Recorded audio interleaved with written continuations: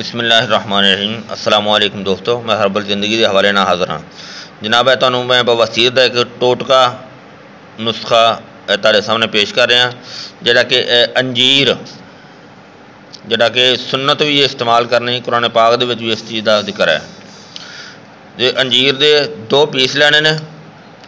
दो पीस मिट्टी के प्याले के रात को भगो देने मिट्टी के प्याले भगो के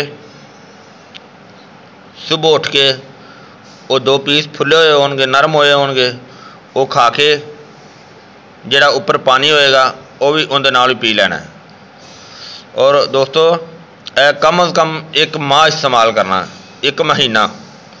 ਔਰ ਇਨਸ਼ਾਅੱਲਾ ਇਹਦੇ ਨਾਲ ਬਵਸਤੀਰ ਜਿਹੜੀ ਨਾ, ਉਹ ਠੀਕ ਹੋ ਜਾਏਗੀ। ਕਿਉਂਕਿ ਇਹ ਸੁਨਨਤ ਵੀ ਹੈਗੀ ਹੈ, ਉਹਦਾ ਜ਼ਿਕਰ ਅੰਜੀਰ ਦਾ ਕੁਰਾਨ ਪਾਕ ਦੇ ਵਿੱਚ ਵੀ ਹੈ।